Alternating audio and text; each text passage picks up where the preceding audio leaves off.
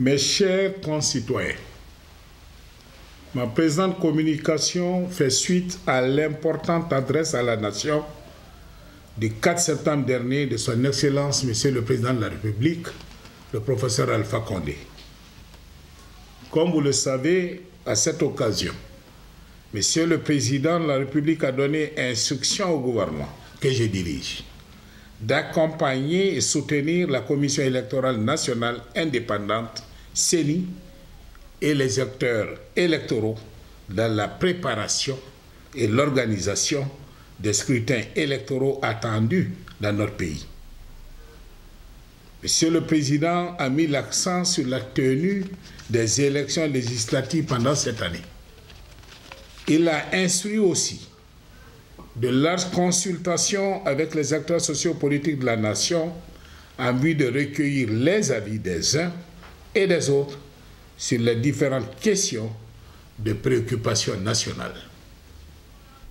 Chers concitoyens, le rôle qui me revient dans cette démarche est ainsi d'écouter chacun et tous et d'en rendre compte fidèlement afin de permettre à Monsieur le Président de la République, dans sa sagesse habituelle et sa clairvoyance politique, d'en tirer les conséquences requises. Je tiens à préciser que ma mission n'est pas d'engager des négociations ou de conduire un dialogue à proprement parler, mais d'être une interface entre les acteurs de la vie nationale et le chef de l'État pour appréhender les grandes tendances de l'opinion publique et avoir ainsi une bonne lecture des différentes attentes. Mes chers concitoyens, en m'assignant la mission d'engager ces consultations, Monsieur le Président de la République voudrait que chacun se fasse entendre et que nul ne soit exclu du processus de prise de décision.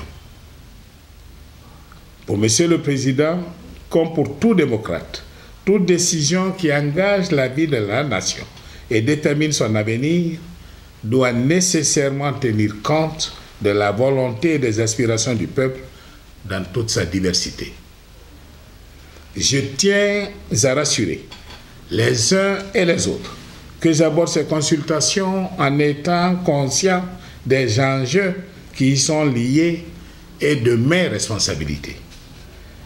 Je tiens également à rassurer tous les interlocuteurs que dans les consultations que nous sommes sur le point d'ouvrir, l'orientation claire qui m'a été expressement donnée par le chef de l'État est d'écouter avec patience et respect tous les acteurs. La conviction du professeur Alpha Condé, de même que la mienne propre, est qu'en démocratie et dans un état de droit, chaque citoyen a droit à la parole. Et c'est un devoir sacré de nous les gouvernants d'en tenir compte. En effet, dans le débat politique, comme c'est la règle dans tout régime démocratique et comme nous l'exige aussi la liberté d'expression, il ne saurait y avoir de sujet tabou et des citoyens interdits de parole. Oui, chaque Guinéen a le droit et la liberté de dire ce qu'il veut ou ne veut pas pour la Guinée. Mes chers concitoyens, vous aurez compris que pour ces consultations avec les différentes composantes de la nation, je n'ai pas de préjugés. Je n'ai pas de certitude. Je n'ai ni de position figée, ni de position personnelle à faire valoir. Non, mon but ne sera pas d'imposer des choix ou de négocier ou annoncer des décisions déjà arrêtées.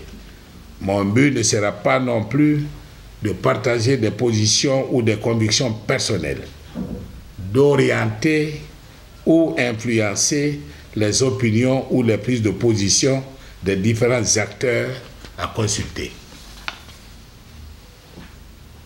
Mes chers compatriotes, au nom de Monsieur le Président de la République, de son gouvernement que j'ai la responsabilité de diriger et dans l'intérêt supérieur de notre peuple que nous sommes tous engagés à aimer et servir, défendre et protéger, j'appelle solennellement tous les acteurs invités aux consultations à saisir l'occasion qui leur est ainsi offerte de partager leurs avis et positions sur toutes les questions d'intérêt national.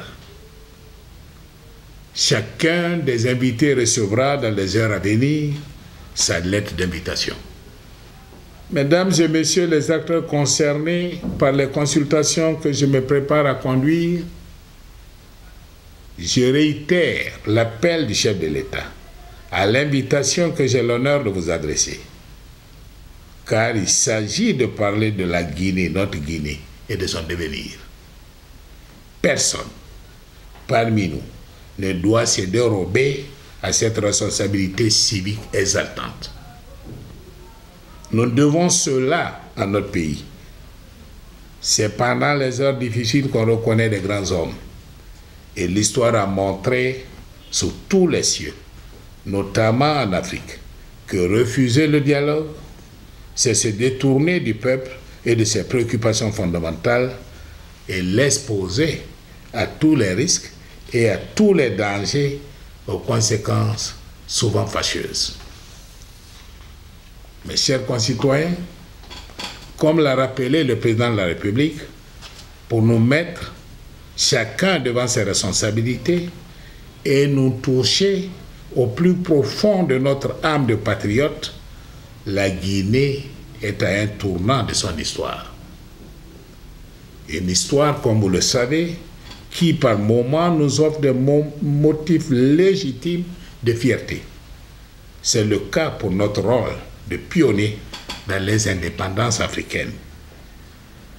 Une histoire difficile aussi, qui nous interpelle parfois à cause de tous les manquements à nos devoirs et à nos responsabilités dans les épreuves nombreuses et souvent douloureuses subies par notre peuple.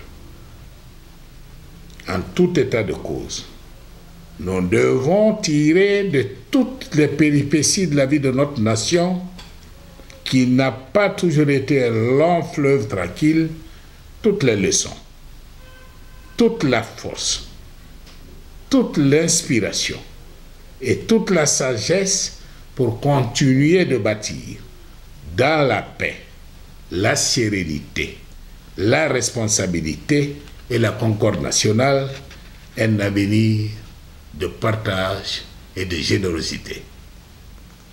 Mes chers concitoyens, à travers les consultations souhaitées par le chef de l'État, nous avons l'opportunité de nous écouter et de nous parler dans un cadre approprié et formel, ainsi que dans un climat de sérénité, dans le respect des principes sacro-saints de la République et des valeurs cardinal de la démocratie.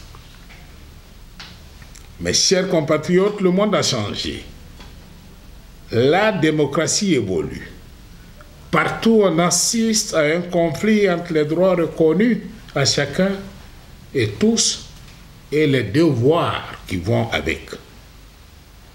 Le commun vouloir vivre ensemble, la stabilité et la sécurité de nos États et la paix pour nos populations. Mes chers concitoyens, le monde nous regarde. Chacun d'entre nous fait face à sa conscience, à ses responsabilités. Chacun d'entre nous est devant le jugement de l'histoire. Pour dépasser nos contradictions et renforcer la confiance entre nous Guinéens, appelés à vivre ensemble pour le meilleur et pour le pire, il n'y a pas d'alternative au dialogue qui, comme aimait à le souligner un grand homme d'État africain, est l'arme des forts. J'ajouterai la marque des grandes nations. Que Dieu bénisse la Guinée et les Guinéens Vive la République. Je vous remercie de votre attention.